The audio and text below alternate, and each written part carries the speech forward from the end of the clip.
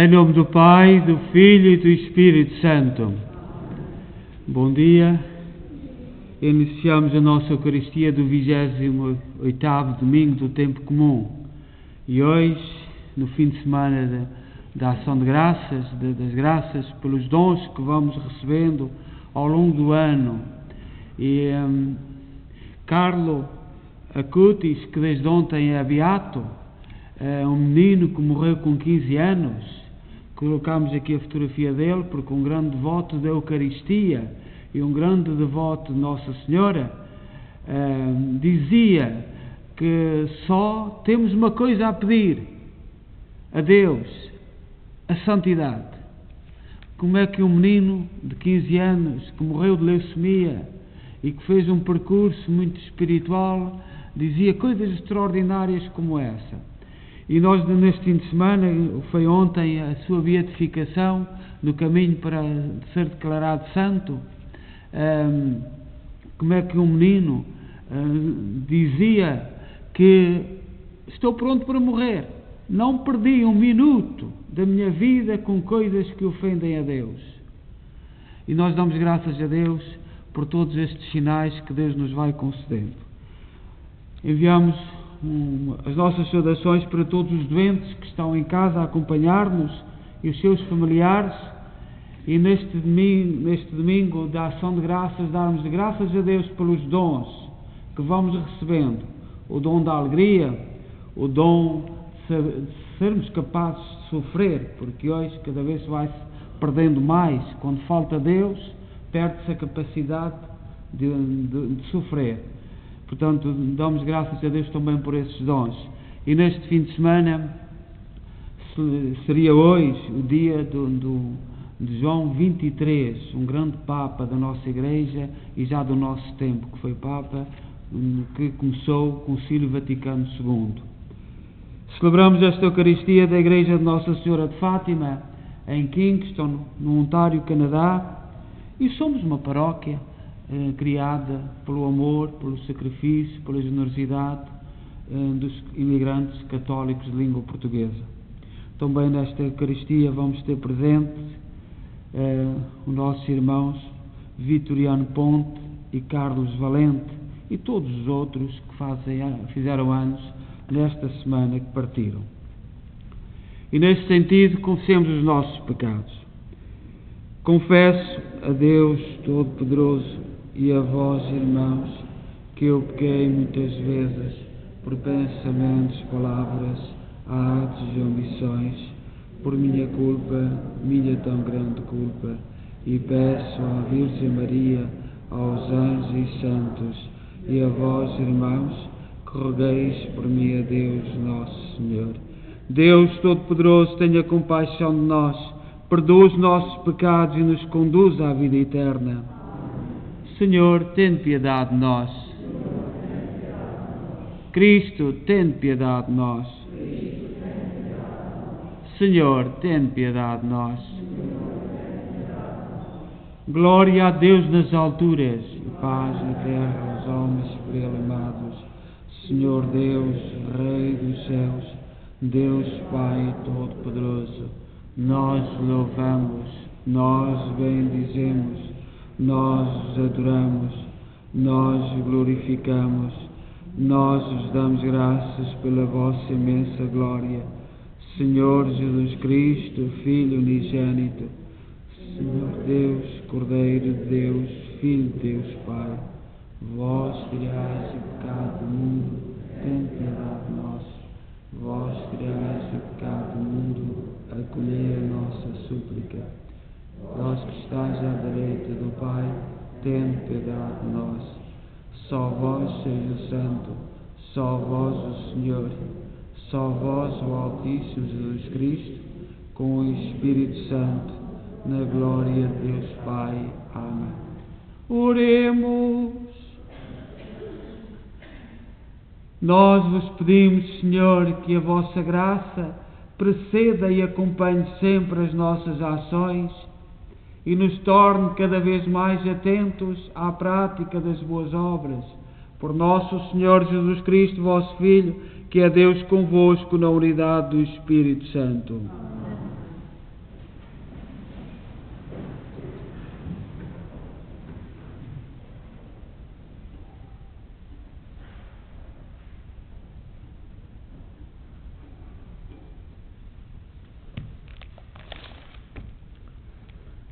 Leitura do livro de Isaías.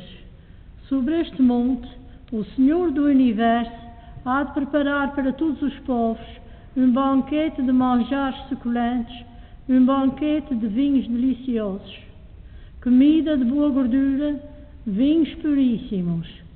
Sobre este monte há de tirar o véu que cobria todos os povos, o pano que envolvia todas as nações.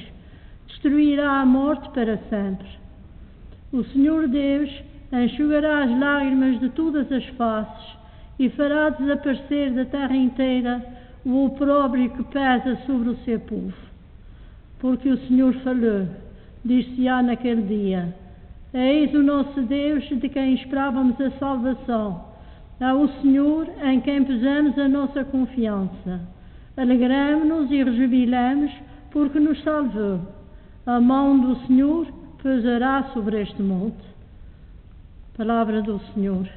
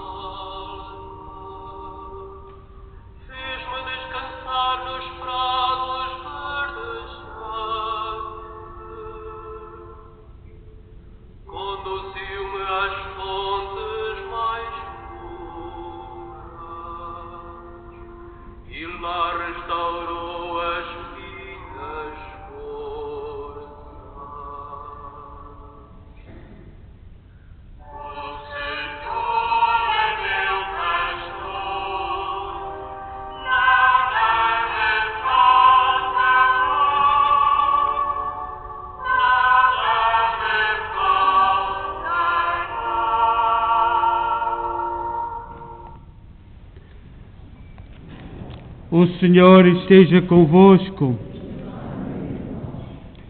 Evangelho de Nosso Senhor Jesus Cristo, segundo São Mateus.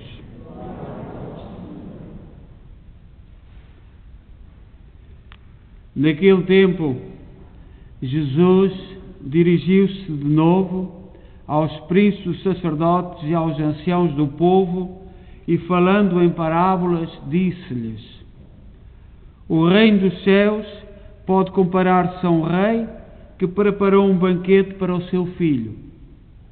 Mandou os servos chamar os convidados para as bodas, mas eles não quiseram vir. Mandou ainda outros servos, ordenando-lhes: Dizei aos convidados: Preparei o meu banquete, os bois cevados foram abatidos, tudo está pronto, vinde às bodas. Mas eles, sem fazerem caso, foram um para o seu campo e outro para o seu negócio. Os outros apoderaram-se dos servos, trataram-nos mal e mataram-nos. O rei ficou muito indignado e enviou os seus exércitos, que acabaram com aqueles assassinos e incendiaram a cidade. Disse então aos servos: O banquete está pronto, mas os convidados não eram dignos. Ide às encruzilhadas dos caminhos e convidai para, para as bodas todos os que encontrardes. Então os servos, saindo pelos caminhos, reuniram todos os que se encontraram, maus e bons, e a sala do banquete encheu-se convidados. Palavra da salvação.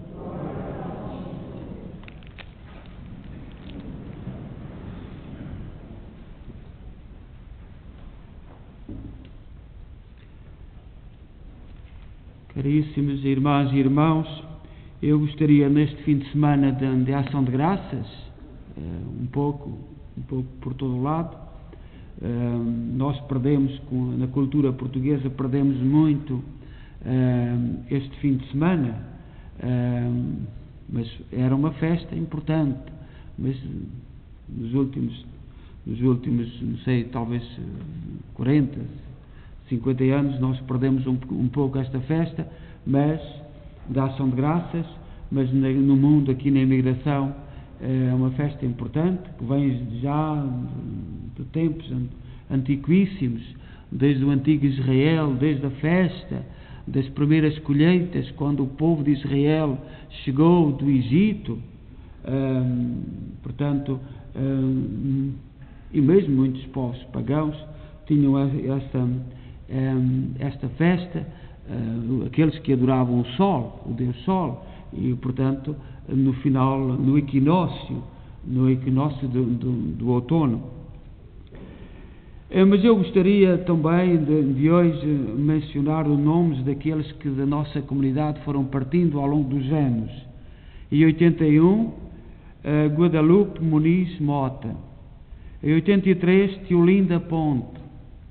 Em 84, Alexandrina da Costa. Em 86, João Tavares. Em 97, Carlos Madeiros Pacheco. Em 2000, Olinda de Melo Muniz. Em 2001, José Luís Sardinha. 2006, António Joaquim da Silva Valente. 2007, Maria do Carmo Medeiros. 2008, Daniela Ruda. 2013, Maria Estrela Souza. 2013, Amélia Serra. 2014, Maria José Mota. E 2016, António Maria Santos. Nós damos graças a Deus pelas suas vidas e lembramos-los hoje na nossa Eucaristia, eles que fizeram anos nesta semana que, termina e que terminou ontem e, hum, e damos graças a Deus e rezamos por eles e pelas suas famílias e também por hum, não fazendo anos esta semana Vitoriano Ponte e Carlos Valente. Ah, no Evangelho de hoje, ah, tirado de São Mateus capítulo 22, versículo 1 a 14, ahm, vem na continuidade do domingo passado. No domingo passado, o Senhor comparava o povo de Israel a uma vinha. Ahm, hoje fala-nos de um- um banquete. E a primeira ideia que, que sobressai é esta: os convidados falharam, mas o banquete continua. E é esta a catequese que o Senhor nos diz hoje. Os convidados falharam, mas o banquete continua. Ah, e quantas vezes na Sagrada Escritura o Reino de Deus é comparado a um banquete?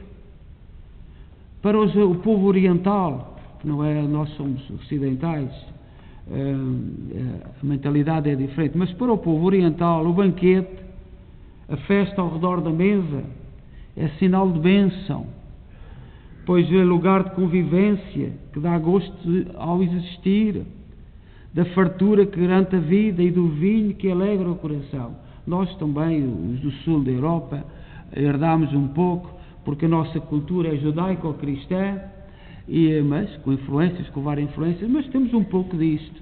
No nosso povo não havia mesa sem pão e vinho eh, sinal das graças de Deus. E tanto na Bíblia, tanto o pão como o vinho, como nós vimos no domingo passado, são símbolos muito fortes.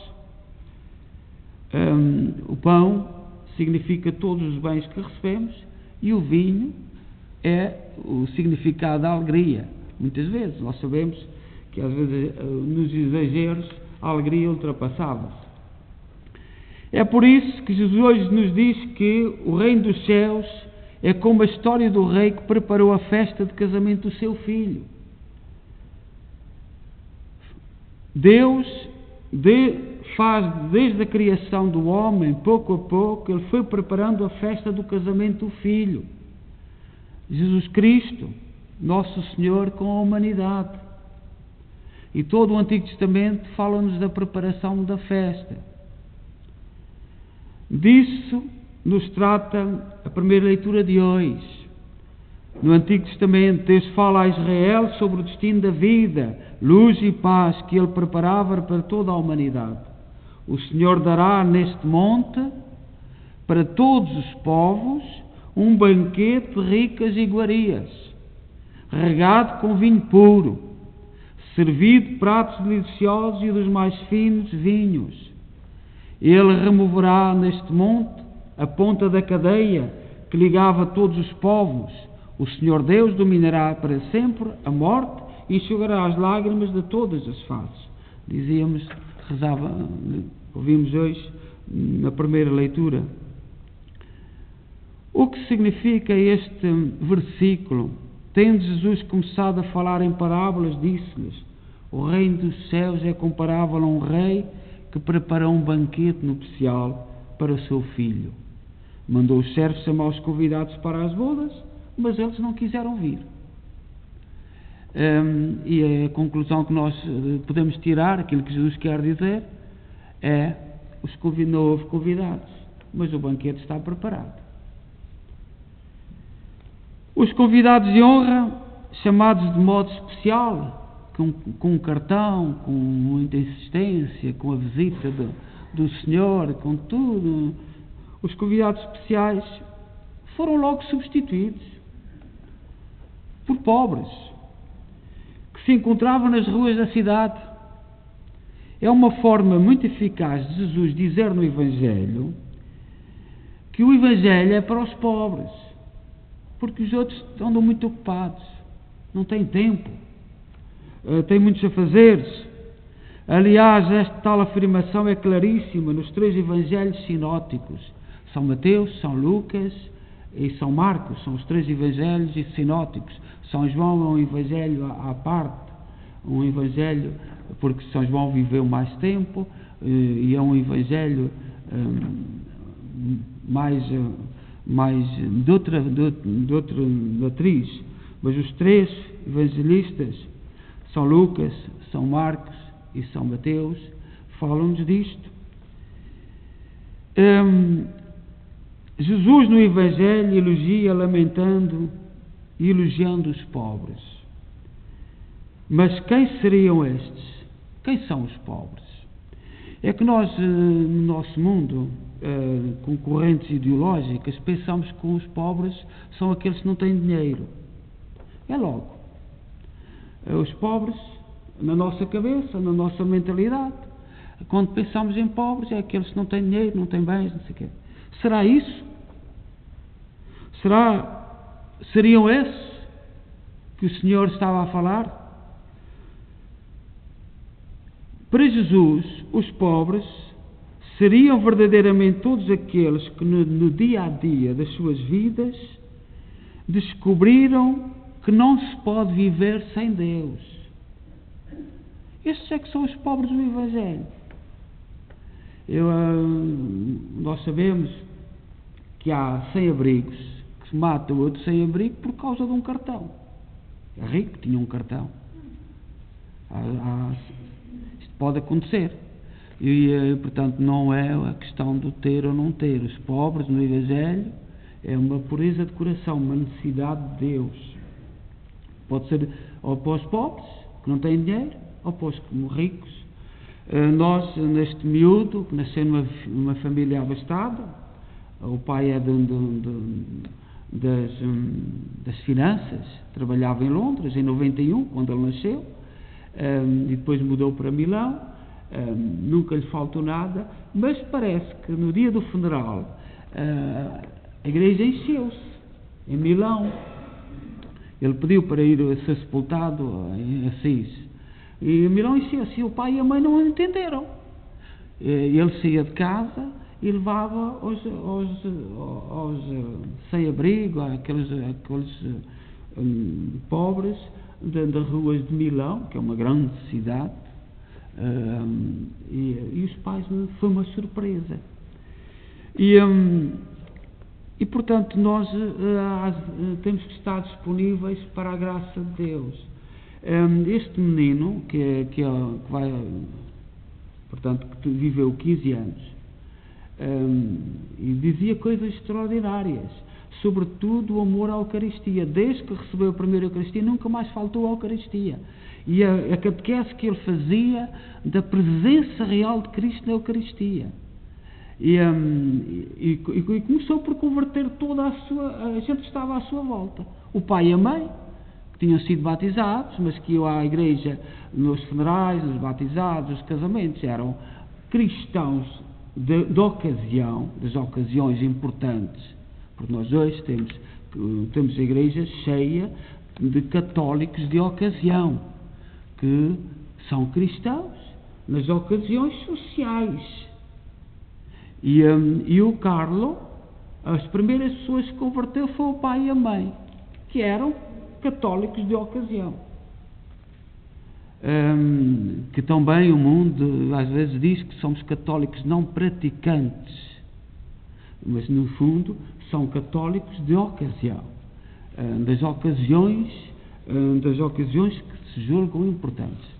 Hum, tinham, eh, portanto, toda, todo o seu, toda a sua vocação, toda, toda o seu, a sua grandeza interior, os pais, como eram pessoas muito ocupadas, muito, mu- muito ativas do mundo da finança, eh, tinham uma, uma empregada doméstica, vinda da Polónia, e eh, muito de- devota de João Paulo II. E foi essa senhora que Deus serviu para incutir. eh, Havia certamente uma predisposição muito grande neste, neste, neste menino ahm, de- para a graça de Deus.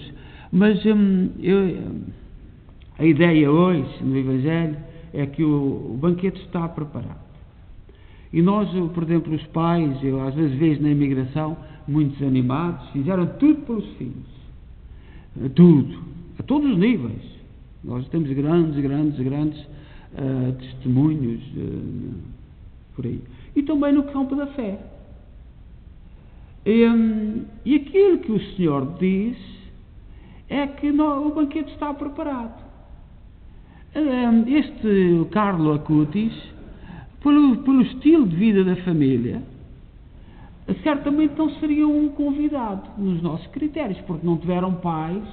Os pais não eram. A mãe, ainda, ainda, em agosto, tem, está farta de dar de testemunhos.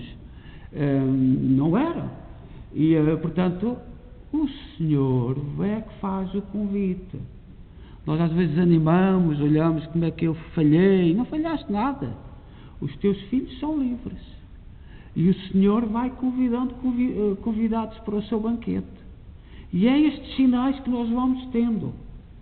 Hum, eu sinto muito hum, entusiasmado com o, o testemunho deste jovem, porque ele foi dos primeiros eh, a fazer na cate- catequese na internet. Ele, hum, ele no seu quarto servia-se da internet, criou uma página para, para eh, falar com os outros jovens. E escreveu coisas como esta: A Eucaristia é a minha autoestrada para, para Deus. A Eucaristia é a minha autoestrada. Hum, e coisas tremendas. E agora, último, ontem, na, vou já terminar, ontem na, na, na cerimónia da, beatificação, que deve ter sido a primeira vez na história que um pai e uma mãe estavam na beatificação de um filho, eh, tinham lá duas crianças. E, hum, que eram irmãos do Carlo. E, ah, e uma das coisas, a mãe disse, penso que foi numa entrevista em agosto, que, que o filho disse: Não chores, porque vais ter dois filhos. Portanto, ele já partiu há 14 anos, os meninos têm, têm talvez 9, 10 anos. Como é que ele sabia? Como é que ele sabia destas coisas? Portanto, os mistérios de Deus não estão encerrados. O banquete está preparado. E nós temos é que abrir o nosso coração. E, hum, e te- temos que respeitar aqueles que são cristãos, cristãos que, que se abeiram com alegria da mesa do Senhor, e daqueles que são cristãos de ocasião, como, como eram os pais, os pais do, do Carlo, eram cristãos de ocasião. Portanto, vamos pedir ao Senhor que nos dê força e que nos anime e a não desanimarmos, termos muita esperança, porque o, banquete está preparado E nós só temos é que ser fiéis nos momentos em que vivemos. Não fugir da linha. Não fugir da linha, fazer opções certas, uh, corretas. E, e, e, atentos aos sinais. Atentos aos sinais.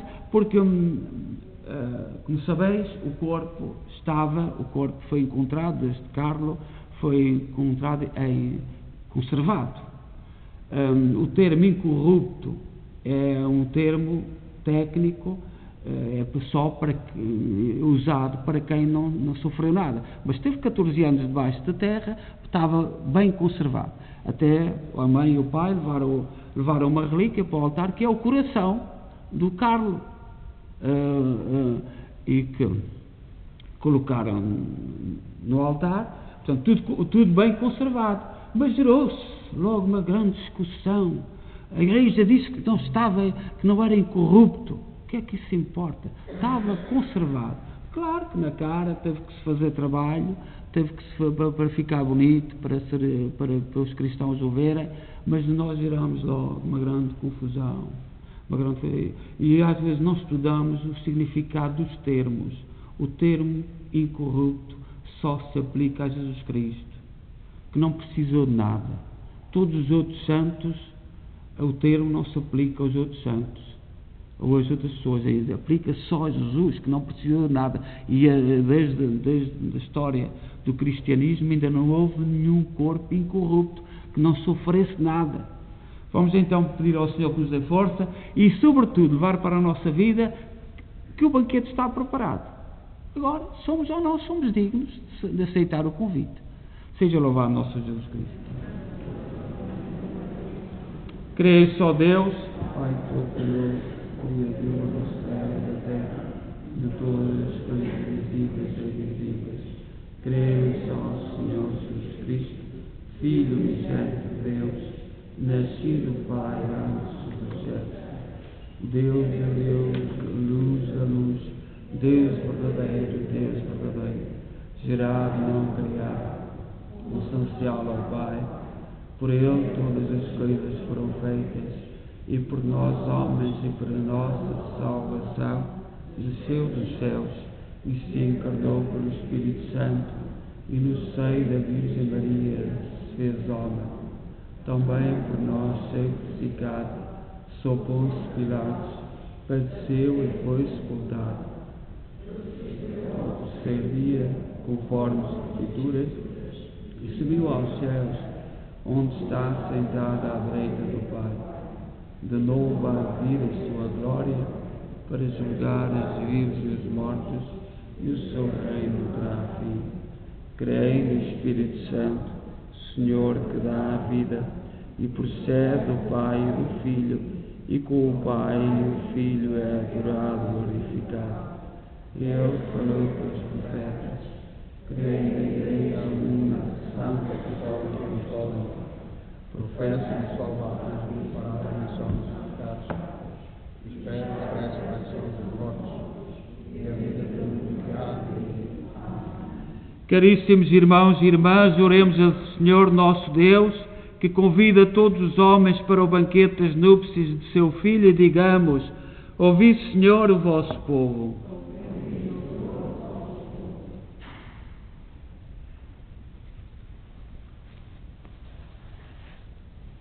Para que o nosso bispo, seus presbíteros e diáconos não se cansem de convidar todos os homens a tomar parte no banquete do Cordeiro, oremos ao Senhor. Para que os homens que ocupam cargos políticos se tornem servidores de cidadãos e se preocupem sobretudo com os mais pobres, oremos ao Senhor. Para que os homens que ocupam para que Jesus ensine os seus discípulos a viverem na pobreza e na abundância e a deixarem-se converter interiormente, oremos ao Senhor.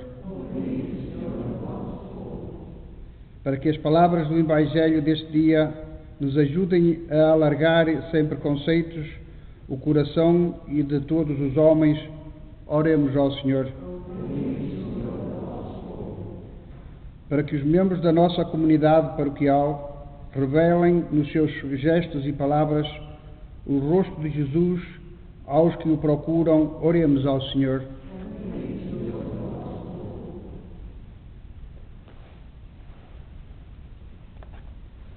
Senhor nosso Deus, que nos convidais a subir ao Monte Santo, enxugai as lágrimas de todos os rostos e fazei desaparecer da terra inteira a violência e a miséria que des- que destroem. Por nosso Senhor Jesus Cristo, vosso Filho, que é Deus convosco na unidade do Espírito Santo.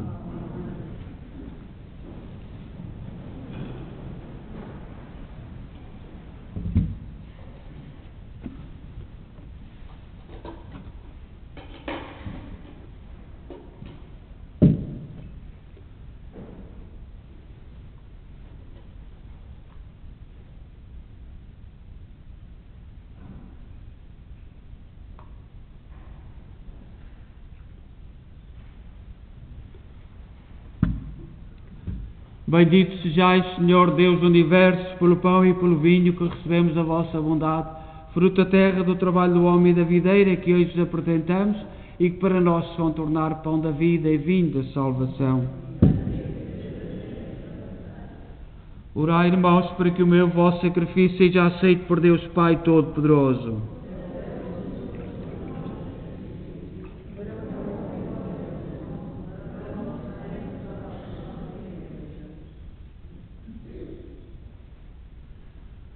Oremos. Aceitai, Senhor, as orações e as ofertas dos vossos fiéis e fazei que esta celebração sagrada nos encaminhe para a glória do céu. Por nosso Senhor Jesus Cristo, vosso Filho, que é Deus convosco na unidade do Espírito Santo. O Senhor esteja convosco. Corações ao alto. Demos graças ao Senhor nosso Deus. Senhor Pai Santo, Deus eterno e omnipotente, é verdadeiramente nosso dever, a nossa salvação, dar-vos graças sempre em toda a parte. Pelo vosso Filho muito amado, criaste o homem à vossa imagem e o fizeste renascer para a vida nova. Por isso vos servem todas as criaturas, vos louvam todos os redimidos e vos aclamam os anjos e os santos. Com eles também nós proclamamos a vossa glória, dizendo com alegria.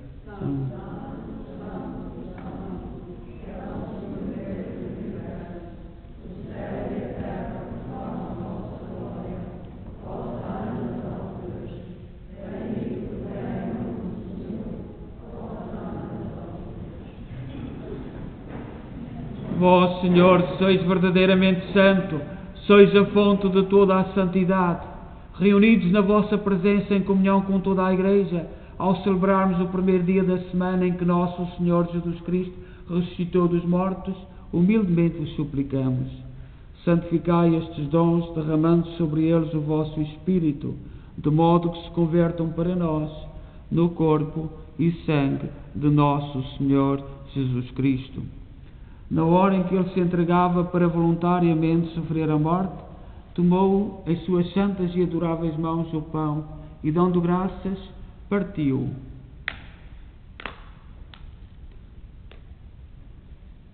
E deu aos seus discípulos, dizendo: Tomai todos e comei, isto é o meu corpo, que será entregue por vós.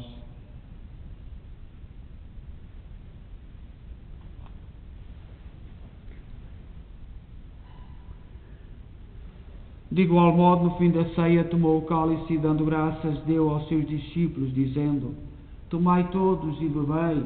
Este é o cálice do meu sangue, o sangue da nova e eterna aliança, que será derramado por vós e por todos para a remissão dos pecados. Fazei isto em memória de mim.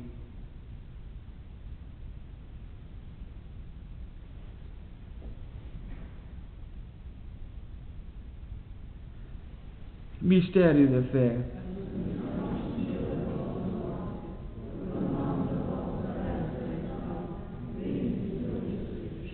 Celebrando agora, Senhor, o memorial da morte e ressurreição de vosso Filho, nós oferecemos o pão da vida e o cálice da salvação e vos damos graças, porque nos admitiste à vossa presença para vos servir nestes santos mistérios. Humildemente vos suplicamos que, participando do corpo e sangue de Cristo, sejamos reunidos pelo Espírito Santo num só corpo. Lembrai-vos, Senhor, da vossa Igreja dispersa por toda a terra, tornai-a perfeita na caridade em comunhão com o Papa Francisco, o nosso arcebispo, Mike Maal e todos aqueles que estão ao serviço do vosso povo. Lembrai-vos também dos nossos irmãos que adormeceram na esperança da ressurreição, cujos nomes pronunciamos, e que na vossa misericórdia partiram deste mundo, admiti-os na luz da vossa presença. Tem misericórdia de nós, Senhor, dai-nos a graça de participar na vida eterna com a Virgem Maria, Mãe de Deus, os bem-aventurados apóstolos e todos os santos que desde o princípio do mundo viveram na vossa amizade para cantarmos os vossos louvores por Jesus Cristo, vosso Filho. Por Cristo, com Cristo, em Cristo, a vós, Deus Pai Todo-Poderoso, na unidade do Espírito Santo, toda a honra e toda a glória, agora e para sempre. Confiantes, ousamos dizer a oração que o Senhor nos ensinou. Pai nosso, que estás nos céus, santificado seja o vosso nome. Venha a nós o vosso reino. Seja feita a vossa vontade, assim na terra como no céu. O pão nosso cada dia nos dai hoje. Perdoai-nos as nossas ofensas, assim como nós perdoamos a quem nos tem ofendido. E não nos deixeis cair em tentação, mas livrai-nos do mal. Livrai-nos de todo o mal, Senhor, dai ao mundo a paz em nossos dias, para que, ajudados pela vossa misericórdia, sejamos sempre livres do pecado e de toda a perturbação, enquanto esperamos a vinda gloriosa de Jesus Cristo, nosso Salvador. Senhor Jesus Cristo, disseste aos vossos apóstolos: Deixe-vos a paz, dou-vos a minha paz. Não olheis aos nossos pecados, mas à fé da vossa Igreja, e dá-lhe a união e a paz, segundo a vossa vontade. Vós sois Deus com o Pai, na unidade do Espírito Santo. A paz do Senhor esteja sempre convosco.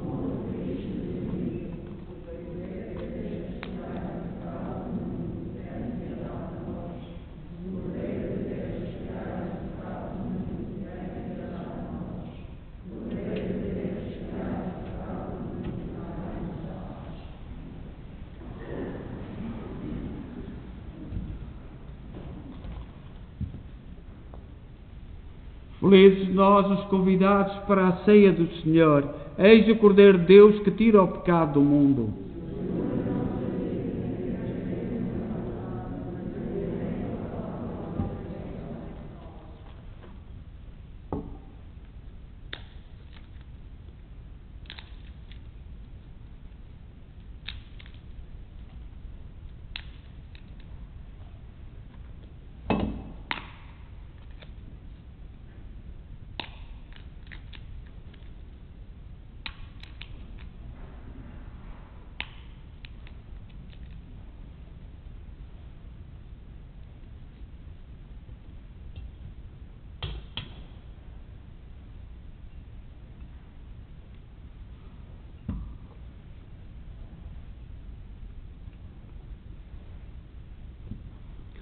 A comunhão tem corrido muito bem nos outros domingos, é o que eu agradeço. Eh, E, portanto, os dos lados do fundo vêm primeiro e depois saímos, para não passar uns pelos outros. Eu ontem recebi notícias que no Quebec, as comunidades portuguesas, por exemplo a de Laval, eh, só podem ter 25 pessoas. As pessoas têm que telefonar. Nós temos esta liberdade, graças a Deus. Portanto, aqui no Ontário temos ainda liberdade, mas rezamos por todos aqueles que estão a viver de forma mais dif- diferente da nossa. Mas vamos, portanto, eh, fazer o, não passando uns pelos outros e cumprindo as regras para que tudo corra, como tem decorrido nos outros domingos. Eh, Eu, para mim, não faz grande sentido ser lá ao fundo, à, saída, à comunhão.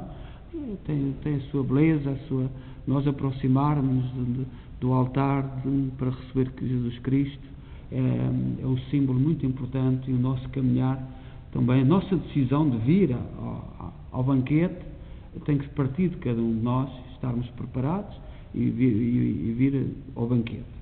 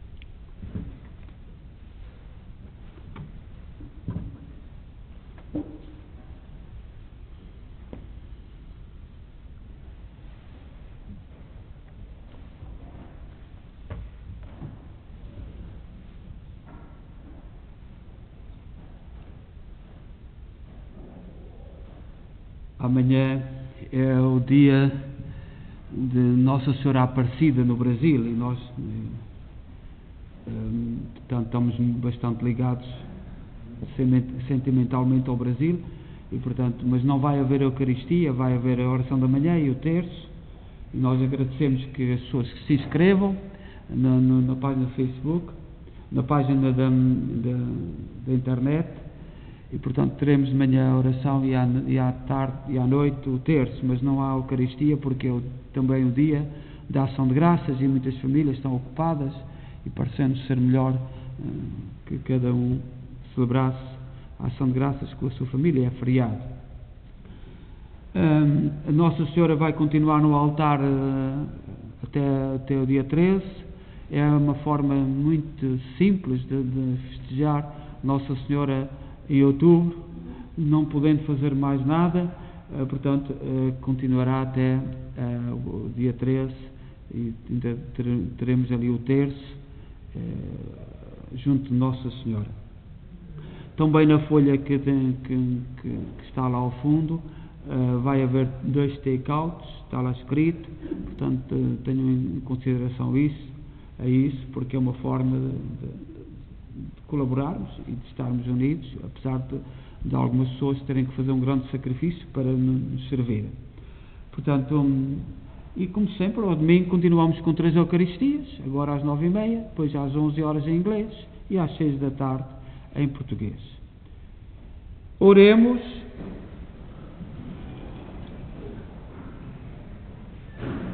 Deus de bondade infinita, que nos alimentais com o corpo e o sangue do vosso Filho, tornai-nos também participantes da sua natureza divina, Ele que é Deus convosco na unidade do Espírito Santo.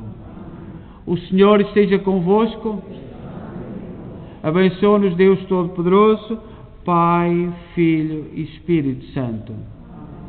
Portanto, vamos manter as distâncias. eh, Temos a porta do salão também para sair. E eh, desejo a todos bom domingo e boa semana. E em paz e que o Senhor vos acompanhe.